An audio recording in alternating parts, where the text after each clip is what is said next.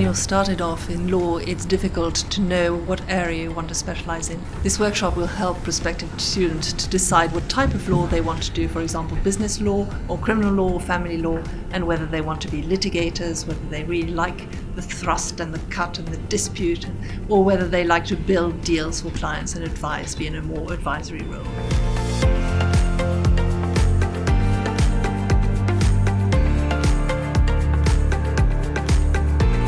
A former alumnus of the university, I found the education to be absolutely fantastic, and particularly on the LLB course, which I sat, um, the teaching was, was fantastic, it was professional, and the fact that you've got professors and lecturers who have been professionals themselves and been solicitors makes the course really relevant to what you're doing later on.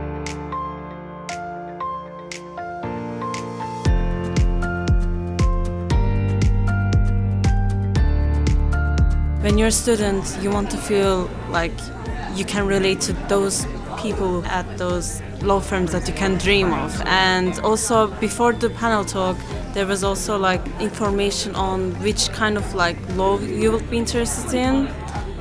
These were all things that will affect me greatly on my um, decision on which law firms that I should apply for.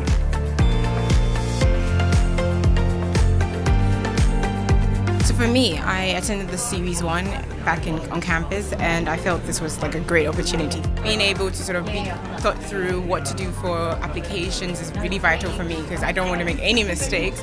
So these little tips and tricks that I have to include in my applications really help me.